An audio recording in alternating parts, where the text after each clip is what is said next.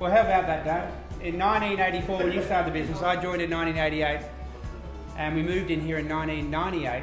I thought this was the Taj Mahal of all offices. But in the name of progress and with Mission 10.4, we've got to let go of some of the legacies. And unfortunately, Stafford Office is one of those legacies that we just don't need anymore for the benefit of our customers, our consumers, and the people that work for our organisation as well. It's really sad doing this, but like everything in life, you must move on, you must get better, and that's what we're doing as well. You're looking at um, one who's ready to move on right now. Look, to everybody, thank you so much, especially all the customers and team members, past and present, that have worked at Coronis at Stafford. I just want to say cheers, thank you for the support, thank you, Dad, thank you to all the Coronians, and um, we'll see you with Mission 10 4. Yep.